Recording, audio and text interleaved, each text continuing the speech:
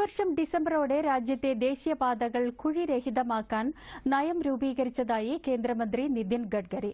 കുഴിരഹിത ദേശീയപാതകൾ ഉടൻ യാഥാർത്ഥ്യമാകുമെന്നും പദ്ധതി വിജയകരമാക്കാൻ യുവ എഞ്ചിനീയർമാരെ പദ്ധതിയിൽ പങ്കെടുക്കാൻ പ്രേരിപ്പിക്കുമെന്നും മന്ത്രി പറഞ്ഞു.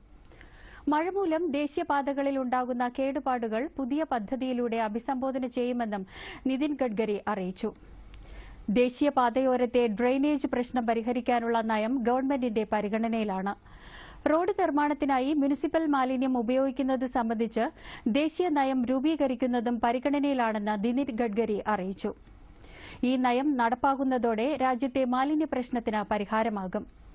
രണ്ടായിരത്തി എഴുപതോടെ മാലിന്യമുക്ത രാജ്യം എന്ന പ്രധാനമന്ത്രിയുടെ ലക്ഷ്യം സാക്ഷാത്കരിക്കാൻ സാധിക്കുമെന്നും കേന്ദ്രമന്ത്രി പറഞ്ഞു.